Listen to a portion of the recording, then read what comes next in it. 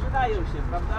Tu rower jest przykładem, zwłaszcza, że jest takie coś, że jeśli wiemy po co jest jakieś zabezpieczenie, po co jest dana na przykład właśnie barierka, to prędzej pracownicy...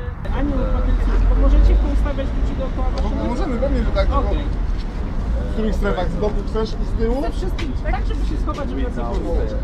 Pana operatora poproszę. Tak, o. O. Ja już mam... Wyborcza, no wyborcza, no. W